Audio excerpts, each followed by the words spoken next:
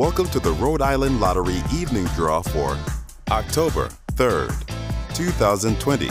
The winning numbers for the numbers game are 0, 9, 5, 1. The Wild Money game winning numbers are 11, 5, 16, 20, 35, and the extra ball is 21. Thank you for playing the Rhode Island Lottery. Have a nice night.